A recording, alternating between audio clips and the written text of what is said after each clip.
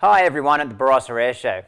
I'm Matt Hall and I'd like to apologise for not being able to attend your fantastic event this weekend.